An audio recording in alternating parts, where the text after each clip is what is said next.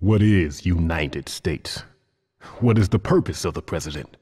I'm Japanese. How the hell should I know? Figure it out yourself.